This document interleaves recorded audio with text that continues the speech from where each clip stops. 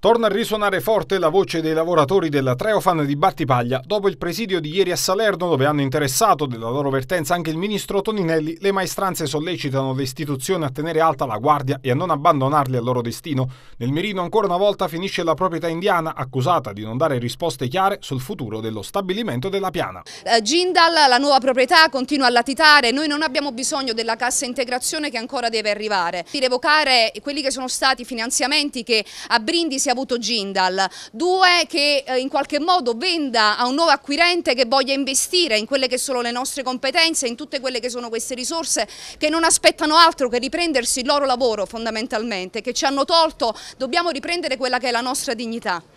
A distanza di qualche settimana che novità ci sono? È passato un po' in secondo piano, forse vi sentite anche un po' trascurati sì. perché nel frattempo sono emerse anche altre crisi, noi, Whirlpool. Noi ci sentiamo trascurati, ci sentiamo trascurati da, uh, da, tutte quelle che sono le istituzioni. Credo che in un momento del genere non importi il colore politico, a noi serva che la situazione venga in qualche modo risolta. Non abbiamo bisogno, come dicevo prima, della cassa integrazione, ma abbiamo bisogno di ritornare a lavorare. Non abbiamo nessuna novità, a parte il tavolo ministeriale che dovrebbe dovrebbe eh, ricondurci forse probabilmente a fine luglio, ma continua la, la, la Gindal, la nuova proprietà, a latitare e a lasciarci nel voto più assoluto.